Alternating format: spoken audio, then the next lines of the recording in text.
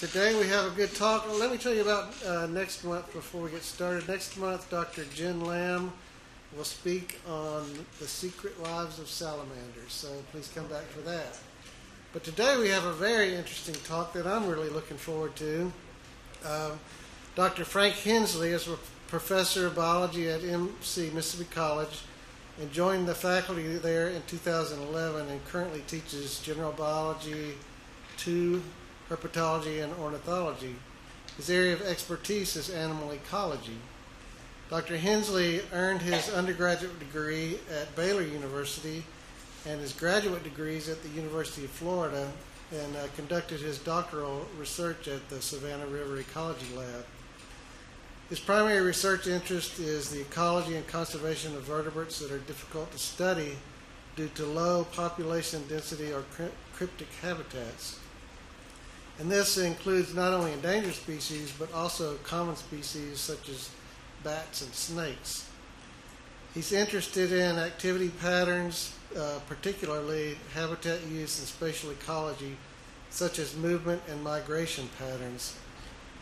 He's also particularly interested in how amphibian and reptile populations are influenced by invasive species of plants and animals.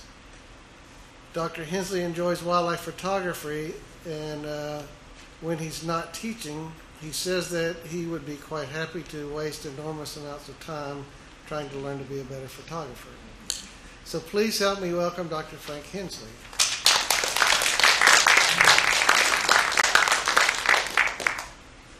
Do I have sound now, Donald? All right.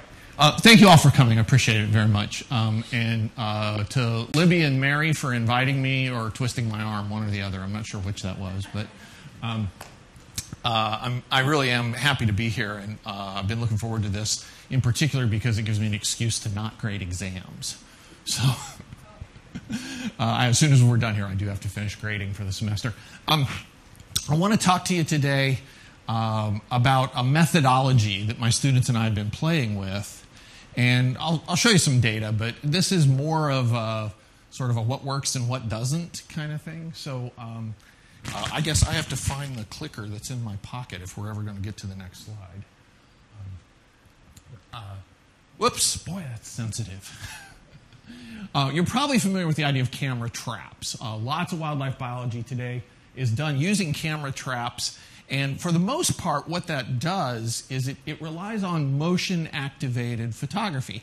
So, um, uh, this is a, a, photo that a friend of mine took. Um, down in Honduras of a jaguar, and I just think it's really cool that you can, you know, sort of sneak up on this jaguar electronically, right, and uh, find out what it's doing and when it came by and things like that.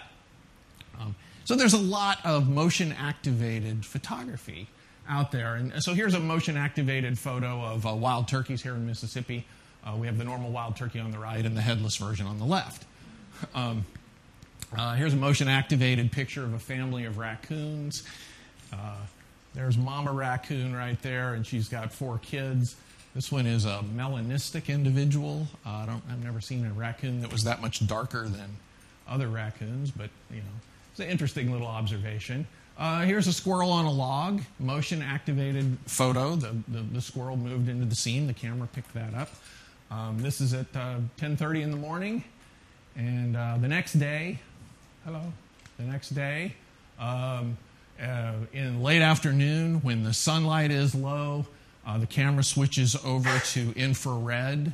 And so we get this night vision photo of a squirrel crossing a log. It's still before sunset, um, but the squirrel crossing the log there. So motion activated photography is used a lot here in, in wildlife biology. And there's a device, uh, a, a, transistor of sorts, uh, that can sense uh, moving heat source, and so I thought this was a good looking heat source to put in the picture. Uh, fire breathing dragon should be warm enough that when it moves through the area, um, the sensor has sort of two channels shown in pink and green. And when the uh, heat source moves across both of those, you get kind of a positive voltage and then a negative voltage. And uh, when the camera detects that spike of voltage, uh, it fires a picture. All right. Um, uh, can you tell what that is? The log is empty, but look in the in the water below the log. What do you see? Yeah, okay. So there's a river otter in the picture. Next picture, there's a river otter under the log. There's a river otter under the log. There's a fourth one. But the thing is, none of these pictures was motion activated. All four of these pictures were taken because I programmed the camera to take a photo every minute. And uh, in the 22 minutes separating the first and the last photo, that otter was in and out of this puddle in the stream, but it never triggered the camera. The camera didn't see the otter in the middle of the day. And I suspect, um, this is outside my area of expertise, that what's going on is the otter's fur is wet, and the camera sees the otter's fur as having essentially the same infrared temperature as the puddle, and it can't detect the difference, so the camera doesn't see this. Um, and that's a problem if you wanted to study this organism and you're relying on motion activated photography to tell you where it is, right? Um, so in 22 plus minutes, it never, it never fired the camera once, right? Um, take a look at this scene. There's no animal in this picture, all right? Um, but compare it to the next scene, and I'll try to toggle back and forth a little bit. Watch what happens. Let me go back. Do you see the difference? something walked through in front of the camera. Something.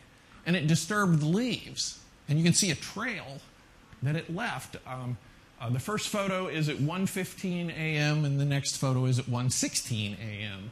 But the camera didn't detect the animal. Can wind activate it? It shouldn't. Wind shouldn't activate it. Okay? But yes, you can get false positive, you, you can get photos where moving vegetation can trigger it. That, is, that can be a problem. Okay? Uh, but, but I missed something. I don't know what. I'll never know what walked through here. Okay, so motion activated photography is not 100% reliable. It misses animals that are there, it misses animals that pass by. Um, so, for it to work, you have to have a temperature differential between the animal and its environment, and the animal has to move fast enough and trigger both halves of that sensor. And only under those conditions does the camera fire a picture. Okay? Um, so, how do you camera trap animals that can't trigger the camera or won't trigger the camera reliably? Um, uh, that's a plain bellied water snake up there, and of course, uh, snakes are ectotherms. The snake's body temperature is probably not significantly different from the water it's in, uh, and it's probably not moving particularly fast, and it's not very big. So the camera is not going to pick up that snake. And you'll notice down here at the bottom of the screen, uh, this camera has labeled this photo TL, time lapse. I programmed the camera to take a picture on schedule, and I got lucky. Right? And the snake was there when the camera fired. Okay? Um, I got interested in this about 30 years ago um, when I was a grad student at the University of Florida, and there was a graduate student there um, named Mark Stowe, and he was studying bolas spiders. This is a bolas spider right here. You may not be familiar with them because there's only one species in the U.S., as far as I know. Um, lives in Florida. Um, and what these spiders do is they hang all night motionless from a single thread. And then if you look, uh, the spider is holding a little piece of silk with a sticky glob of silk on the end. And the spider just hangs there motionless, but it releases a pheromone that smells and is actually chemically identical to um, the scent of a female moth. And so male moths detect the scent and they fly up to the spider thinking they're going to find love and happiness. And instead, the spider swings that sticky weapon and it sticks to the moth's wing, and then the spider reels the moth in and bites the moth and eats it. And so um, Mark Stowe was studying this uh, back in the uh, in the late 80s. Um, but technology was limited, so what he did is he got a video camera that you could buy, you know, down at uh, your electronics store. Circuit City, I think, was the place back then. And he would set the video camera pointed at the hunting spider and just leave it all night. And then the next day, he would put the, the VHS tape in his tape deck and he would put it on fast forward. And some of you may remember uh, going through a movie or something, fast forwarding, and you get this blurry image. Remember that streaky look that you could get? Um, and so he would put it on fast forward and he would watch an eight hour video, but it would take him two hours to watch it or something. And then if he saw a moth approach and, a, and an attack, then he'd stop and back up and watch the event in real time. But that, he was time lapsing, all right?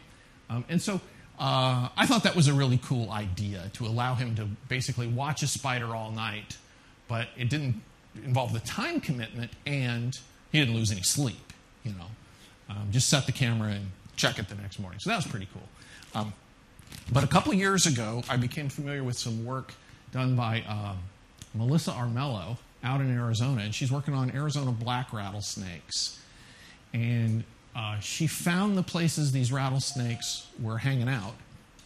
And what she would do uh, is set a camera uh, to time lapse and monitor the snake activity. And she discovered some uh, pretty interesting things, like uh, female rattlesnakes that had these communal maternal dens where they gathered up and they gave birth in the same place together.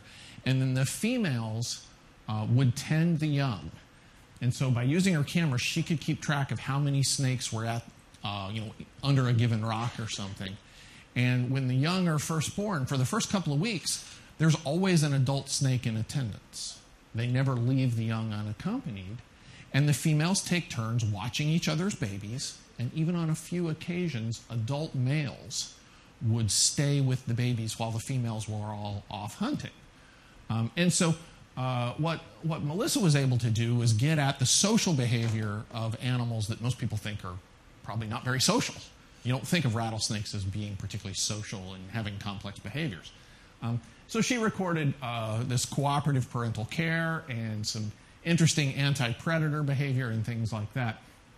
And I was really intrigued by that. I thought, what a great technique for studying reptiles that you can't study with motion activated photography. So I contacted her, and uh, she was really generous to offer me some advice on cameras and technology and things like that. Um, so uh, let me give you a quick overview of uh, sort of some advantages and disadvantages, and then I'm going to tell you about some projects I've been doing with my students. Okay, so um, uh, PIR, motion activated or passive infrared camera trapping, has a couple of advantages. You can monitor 24 7, 365. You put the camera out there, you don't need to be there, right? So it's not a huge time investment on the part of the human being. Um, and you're not out there disturbing the animals. The camera is sitting there silently doing its job, and you're not there. Um, so it has certain advantages uh, for being able to see what the animals are doing. It's not that expensive. All right, there's a whole lot of you know uh, issues with cost when it comes to scientific research, and this is a fairly cheap way to do it.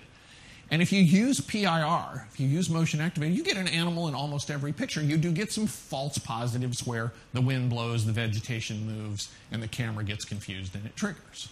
But for the most part, you're going to get an animal in most photos. Another question. It's motion and heat. What, what about, you know, cold conditions? Can Uh, you do it? You can in cold conditions as long as the organism is warmer than the background, right? Uh, and so a cold background is going to make it easier because you're going to have a bigger temperature differential. Um, so I, I haven't really dug into this to, to give you a specific answer, but I suspect that your ability to detect a really small animal, uh, chipmunk, for example, or a mouse, is going to be better in a cold environment than in an environment where the background temperature is closer to the body temperature of that small animal. All right. Um, PIR's biggest disadvantage, at least from my perspective, is it's biased toward large endotherms. It's really good for jaguars, right? But it's not so good for mice or snakes or something like that. Um, so time lapse offers a, an alternative here. Um, one of them is you can detect animals regardless of size, speed, or temperature. Okay, little little cold animals, you can pick them up. Here's a, a, another you know water snake in the in the creek here, um, and that would never trigger a motion activated camera, but the uh, uh, time lapse caught it. All right. PIR is still available, so a camera that's doing time lapse photography can also be watching for motion. Um, and so that's a good thing, right? You can still have that opportunity. The world's going dark on me. Should have eaten something before I talked. All right.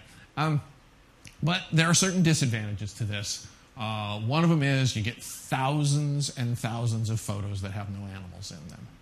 And uh, data storage becomes an issue very quickly.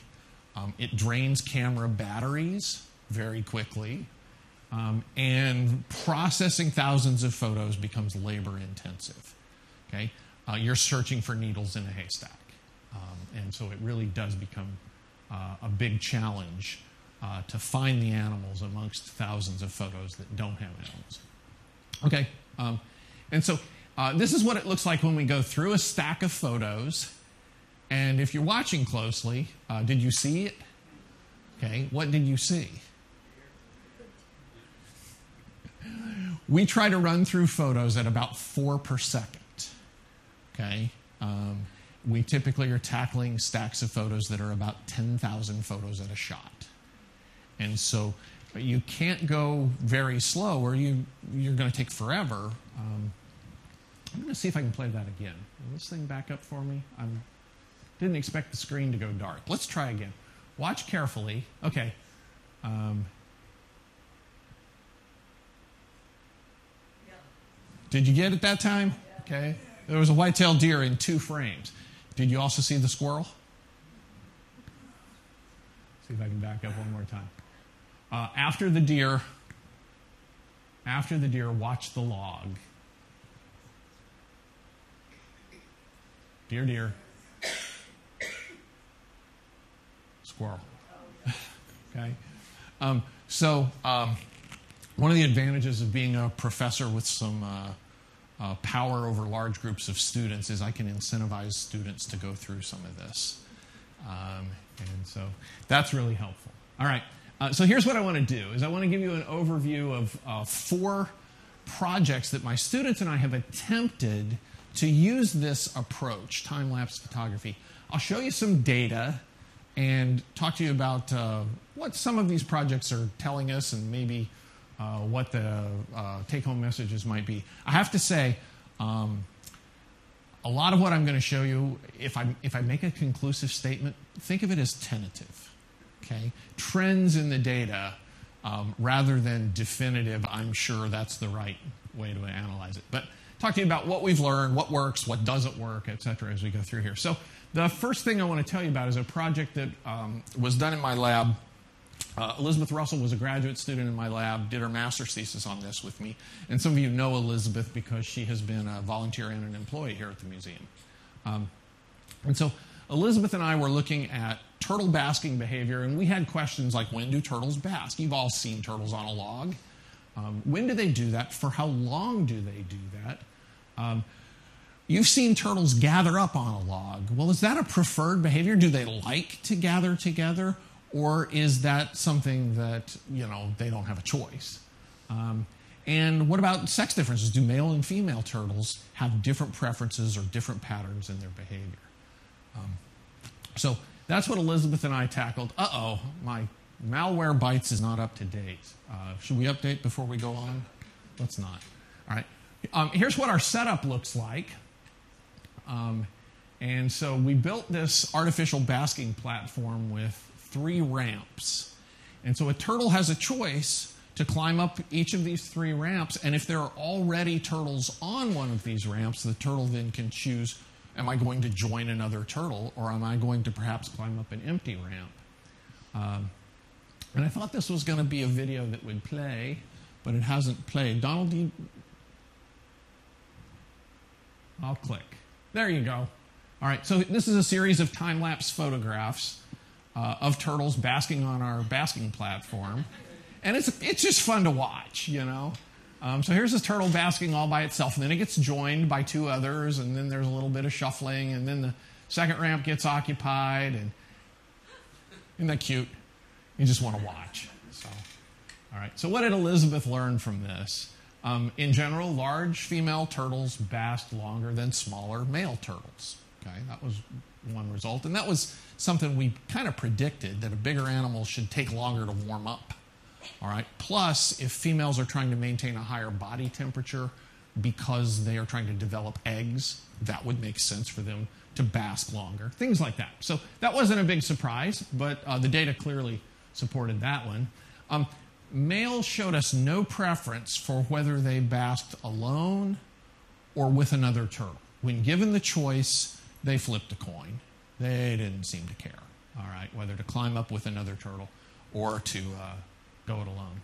Females, on the other hand, showed a statistically significant tendency to join males more often than you would expect by random chance, which was a surprise because you would think the females would mostly avoid males because they would want to avoid the harassment that they would subject themselves to uh, by being close to male turtles.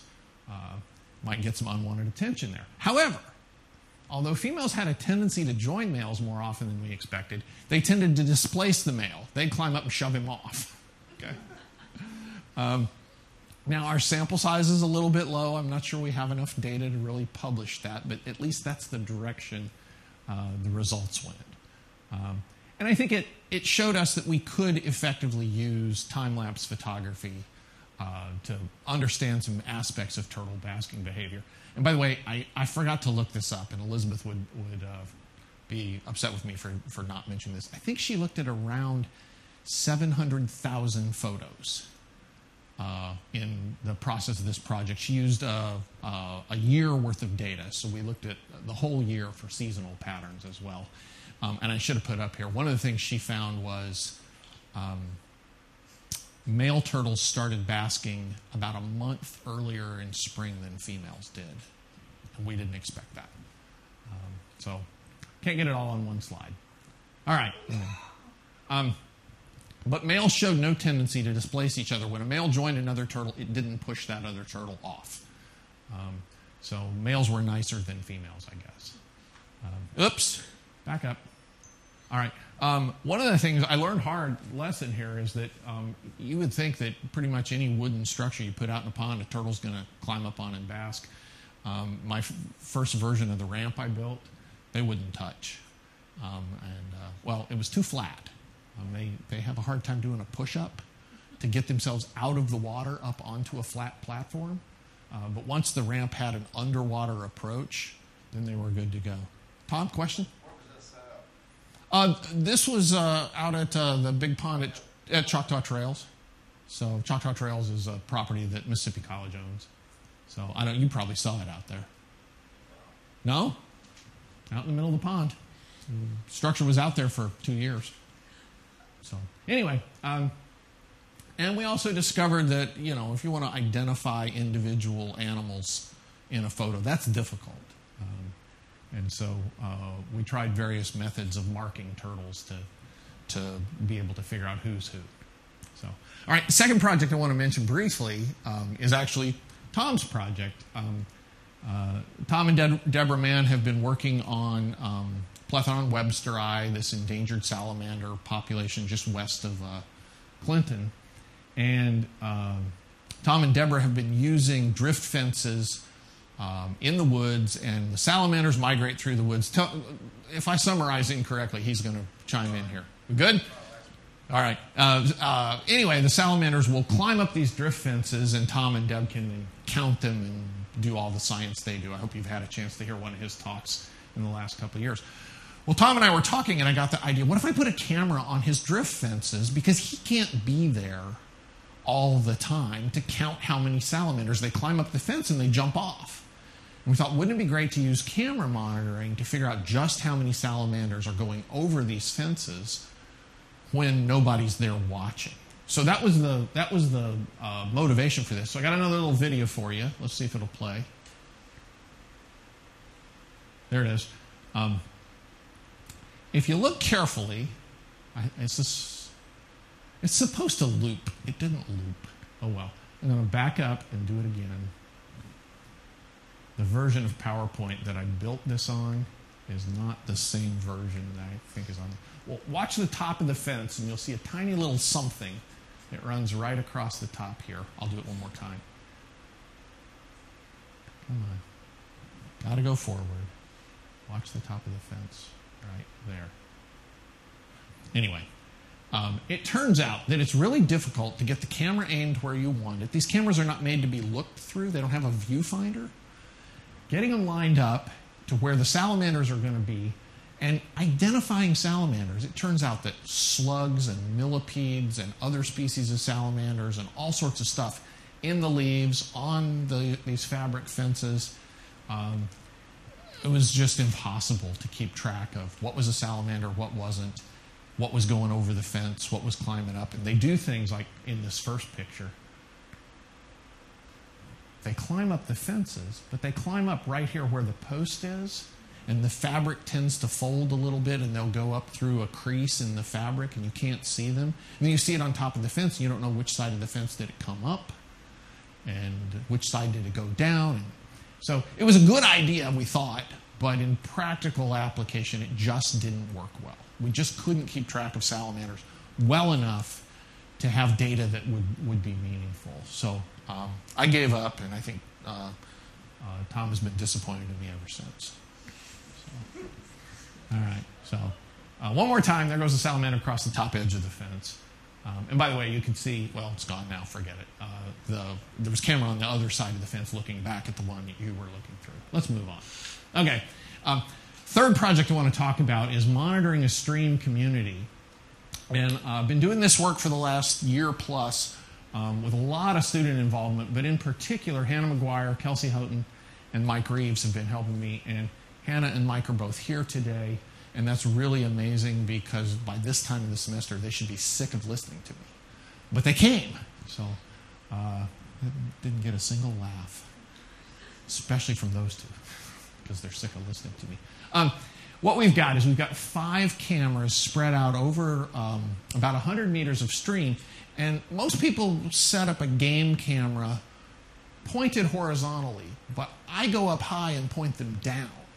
So I can look down into the stream bed. Um, and you may have been able to tell that from some of the previous shots that you've seen. And what we try to do is cover different microhabitats. So some deeper water, mud bars, gravel bars, um, uh, and logs that cross the stream, looking at which of these microhabitats might be attractive to different species of vertebrates. Okay?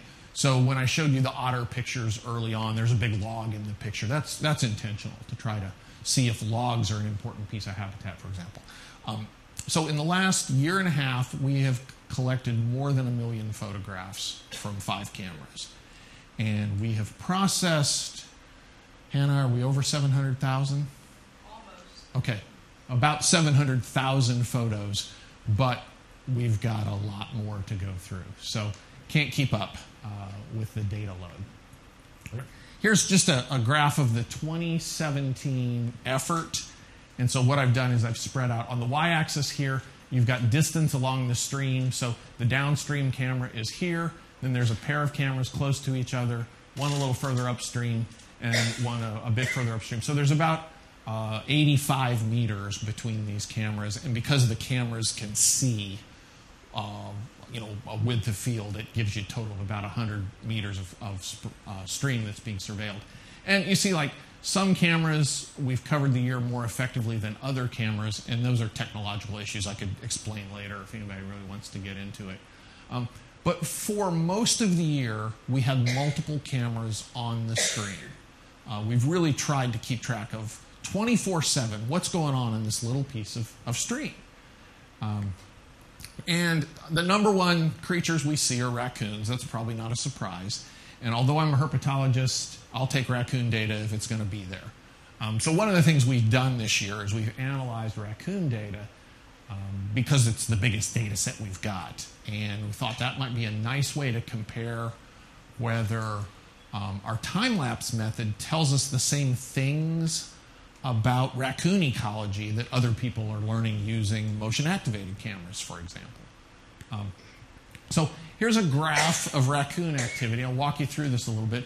We've got date across the x axis down here from January 1st to December 31st of 2017. Um, the sunrise time is this blue bar, and so this is midnight, 6 a.m. Uh, here's noon, right in the middle. Sunset is the green bar, and of course it changes over the year. Uh, and then here's midnight of the next day. Um, and so what you'll see is a couple of patterns emerge from this. One is that daytime activity in raccoons is a summer thing, which is not what I would have guessed. Um, uh, but diurnal activity is mostly a summer thing at our stream. Um, uh, secondly, um, winter activity uh, is nighttime cold activity. If you, if you back up here, uh, you'll see that in the winter here, uh, late fall, no, we got no activity during the daytime, right? Uh, early here, January, no raccoon activity during the daytime. The raccoons are active, um, you know, around midnight and 3 a.m. in the coldest months of the year, which I was a little surprised at.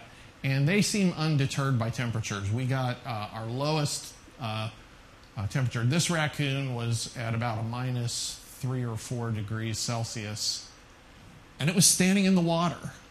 I wouldn't be standing in the water at minus three degrees Celsius, but the raccoon didn't seem to mind. Um, another kind of fun pattern is raccoons take a siesta from 6 a.m.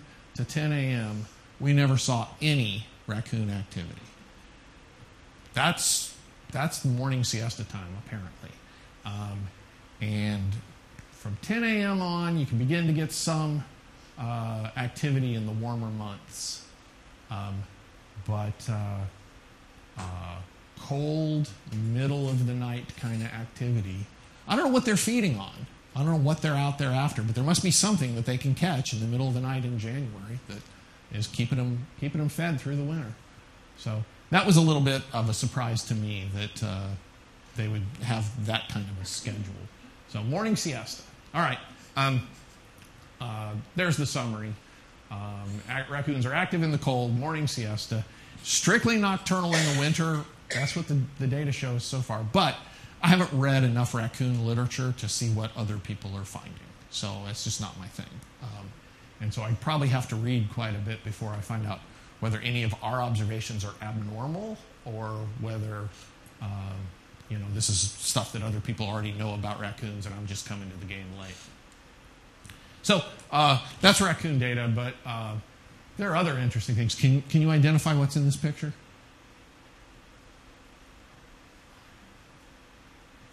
That's a river otter. Do you see it? That's a river otter right there.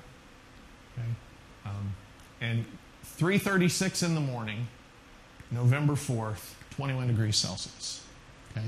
So river otter activity in the middle of the night. The first time we got a river otter on camera, this stream is about six feet wide and about, you know, a foot deep most places. I never would have guessed it was otter habitat. And so the first time we got a river otter, I thought, well, this is an anomaly. We're never going to see this again. Um, uh, and it turns out that uh, we've had otters multiple days uh, through 2017. Um, so I don't know enough otter ecology to know, you know, do otters routinely move up and down little small streams and visit the same site over and over? We've only ever seen one at a time. Never seen two otters on camera at once. Don't know if it's the same individual all year long or what. Um, so, but I'm, I'm intrigued by that. Tiny data set. Um, need to talk to some otter specialists, I think, to find out whether this is, you know, exactly typical or if there's anything noteworthy here. Um, it's noteworthy to me. So, interestingly enough, all of the photos are time lapse. We've not had the otter trigger a camera with body heat and motion a single time. Um, and so I would think somebody who's studying otters with cameras would want to know that they're probably missing a lot of detections if they're just using um, motion activation.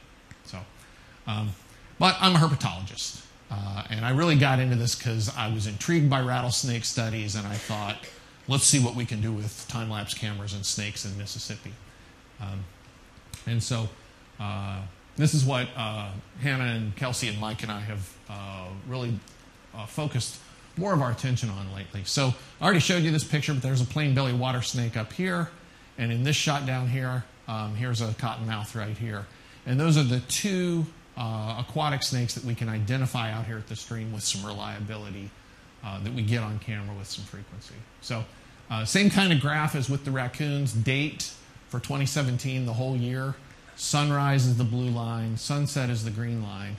And a couple of patterns emerge from our, our snake detections. Um, all the gray dots are cottonmouths, the blue dots are Nerodia water snakes, and then the orange dots are snakes that I have not been able to identify. Um, and uh, so there's a couple observations there that we just don't know for sure what we're looking at because the camera resolution is bad. uh, or because it's a night vision photo or whatever. Um, but are some patterns uh, that seem to emerge. Uh, we had cottonmouth activity in April. We didn't get water snakes until about May. All right, so for about a month in the spring, there was cottonmouth activity, but no water snake activity. Last year, uh, cottonmouths are active after dark. That I assumed that both of these snakes would be pretty active after dark, but it turns out that we got a lot of cottonmouth activity um, at all hours of the night, but not water snake activity. Notice that all the water snake activity here is in daylight hours. Um, that was a surprise to me. Um, okay. Uh, and then uh, temperature versus date uh, here. So in April, got cottonmouth activity from around 19 degrees Celsius up into the um, low 30s. Um, and there's really not a, a significant difference uh, statistically, I'm sure, I haven't done the test, except possibly cottonmouth activity here a little bit cooler temperatures than uh, water snakes. The water snakes are always up here 26, 27, cottonmouths down here below 20. I don't know if that holds up. Again, we've got to dig through the literature and see uh, if anybody has good field data to compare to this. Um, but there are people using temperature sensitive radio transmitters um, who can measure snake body temperature remotely, and that may those data might be good to compare to what we're seeing on camera. So, uh, cottonmouth active at lower temperatures. Forgot I had a pop up there. Uh, and then temperature versus time of day. Um, and so, uh, again, cottonmouth activity when it's dark here and out here uh, a little bit, and uh, but daytime activity. So essentially, uh, data you've seen in previous slides, cottonmouths at, active at lower temperatures um, and after midnight, but no water snake activity at low temperatures and after midnight. So I don't know if we're really getting at niche partitioning, but you've got two similar sized predators. The prey base that they're going to be feeding on is similar. Fish and frogs. Cottonmouths probably have a broader diet than the water snakes do, but they certainly are potential competitors here in this stream. So how they're you know splitting the niche is a, uh, an interesting question. And I think we're getting toward answering that question with these data. But I want at least another year of data to see if any of these trends hold up. So all of this is, again, preliminary uh, results. Uh, people have talked a lot about the effect of moon phase on snakes, so we did a moon phase comparison. And so what you've got here is a graph where I plotted out using the dates that we recorded snakes uh, and, and matching that to the moon phases that were going on at the time. And I plotted out, so moon phase is shown down here with the full moon at, at day zero and then the next full moon at day 28 uh, back here. And what you can see in this, um, the cottonmouth's activity seems to be more abundant near the full moon. If you look in this quadrant right here, the five days prior to the full moon, we only have one water snake observation. Of course, this is a daytime observation. All right. Um, this is a nighttime observation up here. This is a nighttime observation. And then uh, the, the same pattern here after the full moon, cottonmouth activity uh, it's daytime activity, except for this one, which is nighttime activity, but no water snake activity near the full moon. I don't know what that means. Um, as you get closer to the, uh, the new moon, though, then we've got daytime water snake activity. Why moon phase at night would affect daytime activity, I don't know. But at least this is an emerging pattern. We'll see if it holds up with another year of data. Okay? Um, and uh, is it possible that cottonmouths are actually showing more diurnal activity um, as the new moon is waxing to full and more nocturnal activity?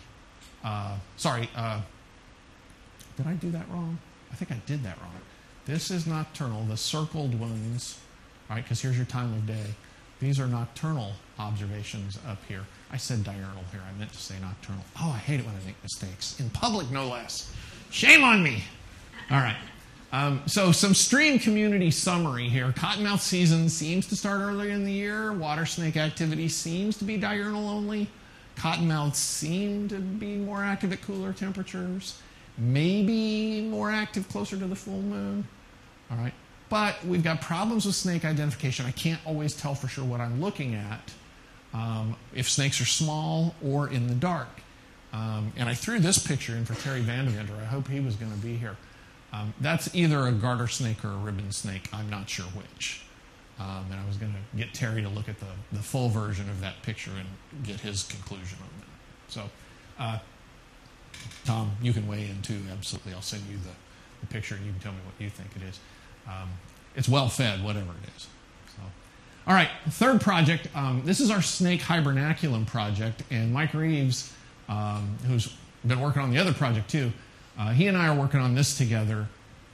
And what happened is last fall, uh, we uh, came to the conclusion through some observation of uh, a bunch of shed snake skins that this old abandoned structure was serving as a winter hibernaculum for rat snakes. I said, we got to know when they come out of hibernation. Let's get some cameras on this old structure so we can monitor their emergence from hibernation. That would be a fun thing for us to figure out. And so uh, we mounted some cameras to look at this structure, and as you can tell, um, uh, it is in fact a hibernaculum for rat snakes. So if you, you haven't noticed, up here on the roof of the building, there's a, a large rat snake right here. On this barred window, there's a rat snake right here, and then you see the head down here. Okay, so we got three rat snakes in one picture um, uh, at this old abandoned structure, and you can't tell from this angle, but there's there's uh, uh, two, as far as we can tell, two ways in and out of the hollow concrete block walls. Okay, one of them is that this old window frame allows the snakes to get inside the concrete blocks. Uh, the other one is, if you look, this is a doorway. There's trees in the way, but there's a doorway right here with some breaks in the in the concrete right here. And uh, it turns out that on the other face of the doorway, you can't see in this picture, there's broken concrete that allows snakes in. So I think we've got a video on the next slide here. And if you watch carefully, uh, here's a, a rat snake down here on the window.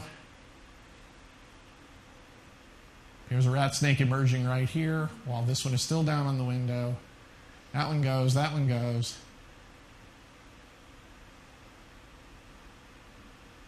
This one's back. And then there's one that just zipped up the tree. There, its tail is just disappearing right there. And then that one. So lots of snake activity. Right, and all that I don't remember. That's like a, a two-hour time period or something that you just watched in 20 seconds. Um, and uh, so I'm really intrigued by the potential things we could learn from this. Uh, we started our, our spring cameras on February 1st, and we saw no evidence of snake activity until February 19th. And on February 19th, we had a snake basking in that window um, from uh, before noon here uh, till mid afternoon here. Uh, that was the appearance of one snake uh, that day. And then um, as the month of February progressed, uh, you can see the snake activity plotted out that we saw. It's all diurnal, it's all snakes coming out during the day, during daylight hours, coming out of that window and basking in the sun.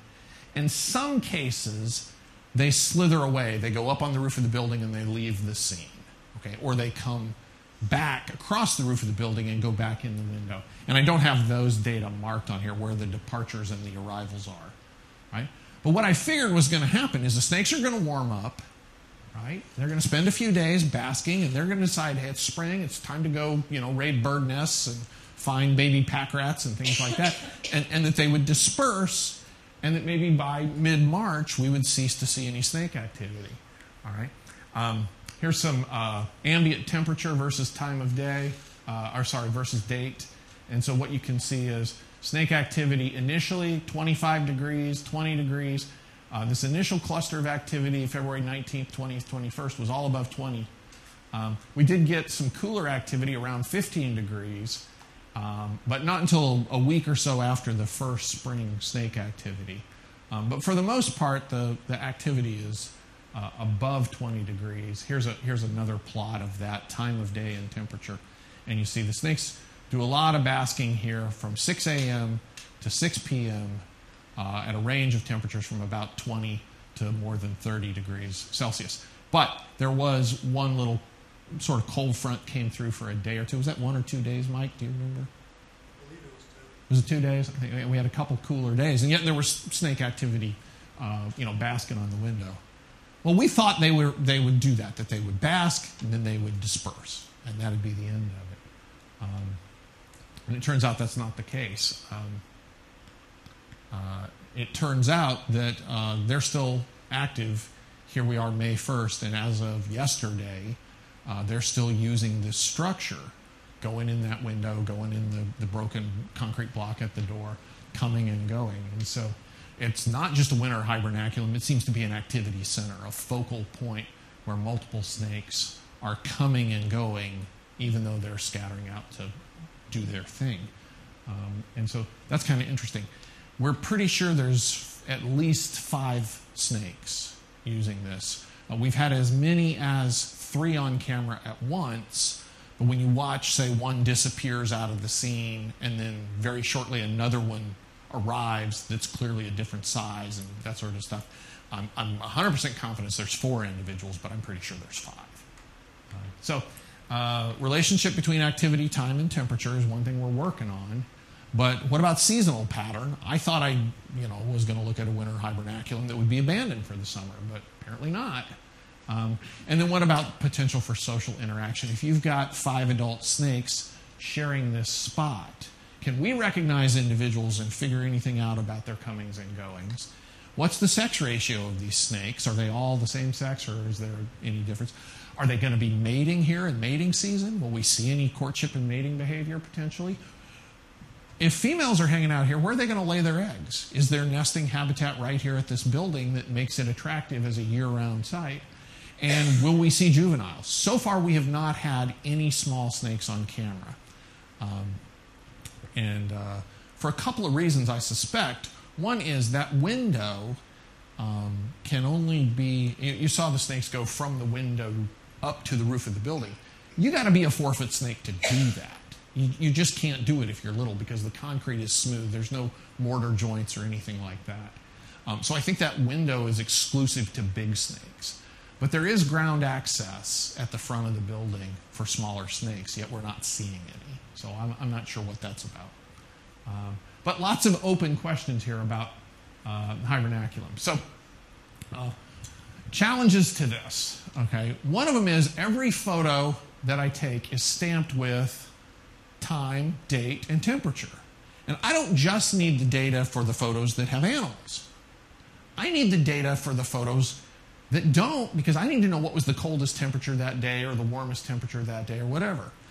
And when my students are going through thousands of photos, it's hard enough to get them to find all the animals. But if I say, I need you to also find the lowest temperature, they're going to re- rebel. That's, that's not going to happen.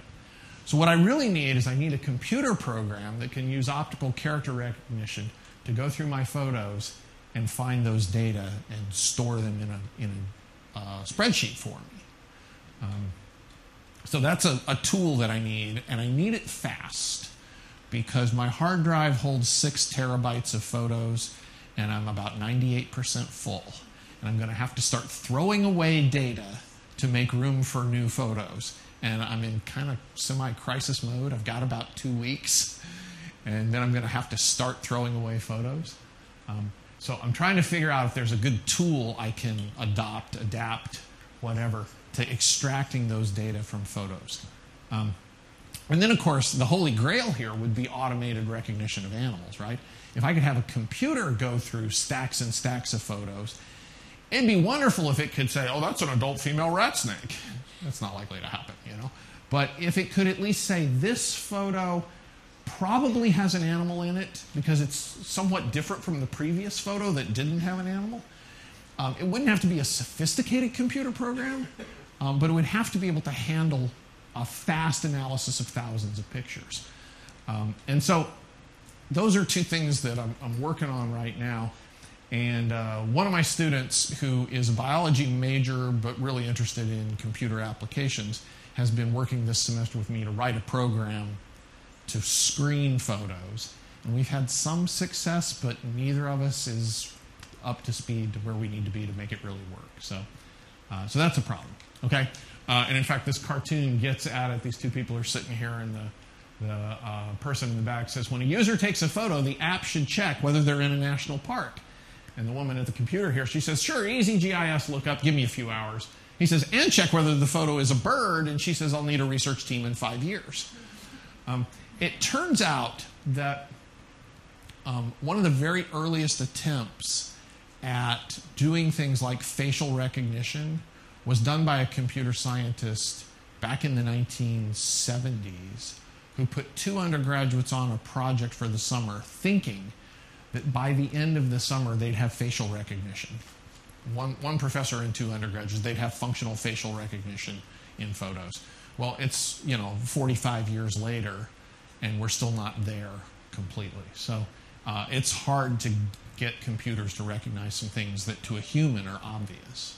All right. So I got a huge list of people that have helped on this project, and I can't possibly read all their names, and I'm sure I've left somebody off. Uh, but I should point out that all of these are um, students who, uh, either for credit or for volunteer or for extra credit or something, went through thousands of photos. And we wouldn't be where we are with this project without all their help.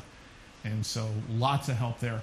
Um, but then the folks up here are the biology majors in particular who've uh, done more than that. Um, and so uh, I, I have to give a nod to all of them. So I'm interested in what your questions are. I'm interested in any suggestions you have to help me refine this or tackle it or whatever. And if you can think of collaborators that I should be talking to, computer science type people or whatever, to help me with some of this, I'd love to have contacts, uh, people I should uh, sort of share some of these problems with and see if they can help out. Um, so I'll stop there, except I got some fun photos.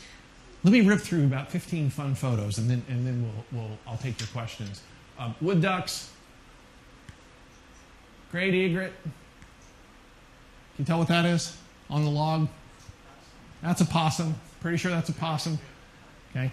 This was a mystery to us. Um, this thing right here, um, and uh, several of us zoomed in on the photo and scratched our heads for quite a while. And one of my students, uh, Kelsey Houghton, had had some insight, and she looked at the reflection in the water and said, "Oh, look, it's a squirrel.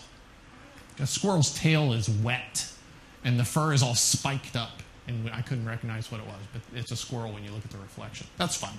Um, gray blue heron, river otter. Where are my Audubon friends? You got that one?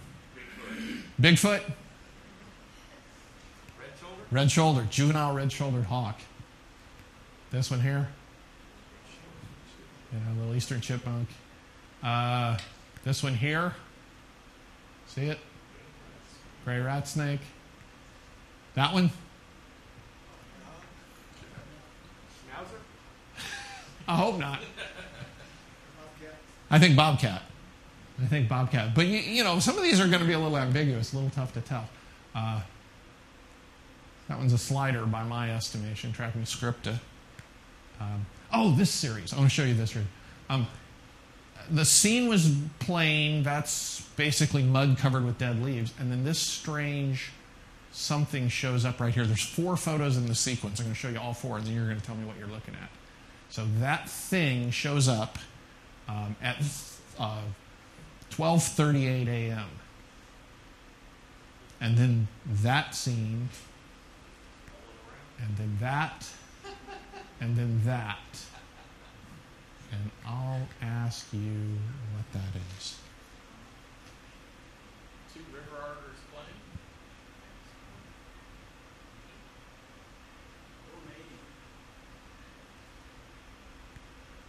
Oops, too fast. I shared this with some uh, uh, mammalogy friends, and they concluded that what that is, I'll back up. That's that's a possum, and it's attacking, scavenging. What I think is maybe an injured house cat. I'm not sure. Uh, I thought it was a mink, maybe, but other people said no, they thought it was a cat. And then, of course, speaking of cats, you know, in Mississippi we have black panthers, right? And everybody always says, Where's your camera evidence? So here's my Mississippi black panther, which may in fact be the same animal that the possum is attacking. Uh, I don't know. So um, uh, there's no black panthers, okay? Can we get that out of the way? Um, Is your, is your creek in Mississippi? Yes, yeah, it's in Hinds County. I, I, I'm a little uh, reluctant to say more than that because sooner or later somebody's going to start stealing my cameras and vandalizing equipment and things like that. Huh? I'm a little reluctant to say more than Hinds County, Tom, but I'll talk to you privately. Oh, really? Okay, we'll have to we'll have to have a conversation. All right. Um, uh, so uh, I'm done. Uh, questions, comments, suggestions? Oh, thank you. Go ahead. Thank you for the great presentation. I'm, I'm highly suspecting, but correct me if I'm wrong, I'm highly suspecting that the temperatures are the metadata of the photos. I wish I've looked in the what photographers call the EXIF, the exposure information. I've looked, and apparently this camera manufacturer doesn't put it in there, which frustrates the heck out of me. But it's not there. I, I've tried a couple different viewers that will pull up the metadata, and I don't see it. I see a whole bunch of stuff in the metadata. I wish I could find it in there, but it, it unless it's coded in there in hexadecimal or something, you know what I mean? If there's some correlate in there that I could find, but I have not found it. I have not asked the manufacturer, and that's probably a smart step. Uh, would be to, to just ask them if it's encoded in there in some fashion. Because if, because if it is, it, it would be relatively simple to extract. you know, You're right. with something, but yeah, it's worth Yeah, I, I would hope so, um, but I so far I haven't found it there. So, Gina. What about the data logger buttons? I know that we require more money. I don't know how expensive they are, but if you're interested in the, the temperature data, would you be willing to combine your? Yeah, um, I actually have um, a couple little data logger devices um, that I could deploy, um, and uh, for various reasons I just haven't. Um, it's just one more thing to fuss with. It'd It's easier if it just the Right. camera would cooperate. Right. Um, it seemed it, that I guess that's part of my frustration is I'm getting five temperatures every minute from five separate devices. Why do I need a sixth device out there? You know, when clearly I've got the data, I just need to get the data into an electronic format. So, um, but yeah, that'd be nice. So, Unfortunately, I've got a little too much experience recently with uh, the security industry and cameras that are using white balance to detect motion rather than infrared or, or whatever. So it's, it, it, since since cameras are digital, they detect white balance and start snapping pictures, saving it to a, a DVR, and then the DVR also has software to blow through it real quick to, to see changes in white balance in your pictures. You know, if it's sitting on the same scene all the time. But uh, of course, those are made to be mounted indoors. Right. whole different technology. Right. I, I would need waterproof Pelican cases and batteries and inverters and uh, so. Um, if you know of some money laying around to help finance that stuff, we should talk.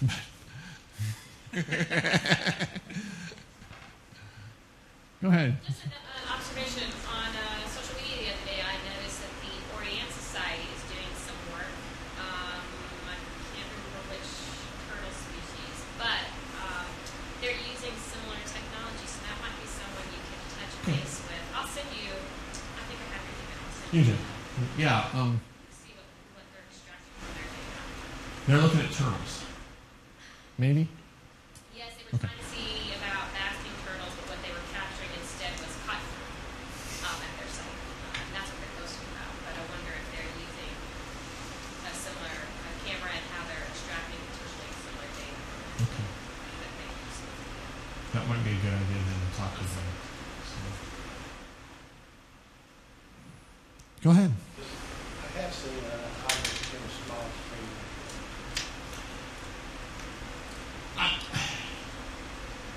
I'm not surprised now because I've now seen it several times over the course of a year. But when I first saw it, it was one- to me it was a jaw dropping. Oh my gosh, there's an otter on this on this picture um, because it's just not the kind of habitat I had ever seen an otter in. So Um, but I think that speaks to my ignorance of otter ecology more than it speaks to uh, this otter being different uh, or something like that. So I think there are people out there who just know otters better than I do, and if I talk to them, uh, they'll probably tell me that this is no big deal.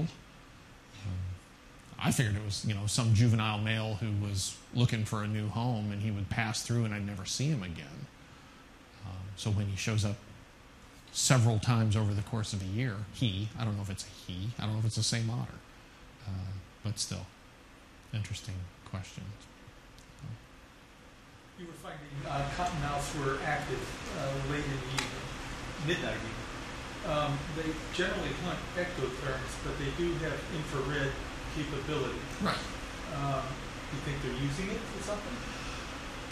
In my understanding, cottonmouths have a broad diet, right? They, they eat endotherms when they can catch them, and uh, they. I've got a friend who uh, has done a lot of snake behavior work where he does direct observation with night vision cameras. So he actually puts on mosquito netting, grabs a night vision video camera, and he wades into the swamp and hunts down snakes, and then he shoots video of them. Um, and he has detected, I don't know if he's published any of this, but he has detected cottonmouths um, uh, setting up uh, vigilance points, you know, where they're, they're hunting at the same spot night after night. And um, he's got video of them, you know, hitting mice that come down to the stream to drink. And the cottonmouth is waiting in an ambush posture and nails the mouse. And then, you know, two nights later, that cottonmouth is back at the same spot. Um, and, and he's also seen cases where uh, a cottonmouth will hunt at a spot and then abandon it. And another snake will take up that exact same position a few nights later. And he suspects that the cottonmouths are actually scent marking these, these spots. Um, and so, between the scent of a place that a rodent drink, frequently drinks and a snake frequently, you know, is, is in an ambush there, the next snake can figure out, hey, this is, this is a good hunting spot. So, I think that uh, even if they're predominantly eating other snakes, fish, frogs, um, small turtles, uh, whatever else, even if they're predominantly eating that stuff, they're still hunting mammals. Um, so uh, the breadth of their diet is huge. So if it'll fit in their in their head, they're going to eat it. So um, and and I wouldn't at all be surprised if uh, the cottonmouths in this stream are eating any juvenile water snakes they can swallow, which you know is both prey and potentially removing a competitor. So.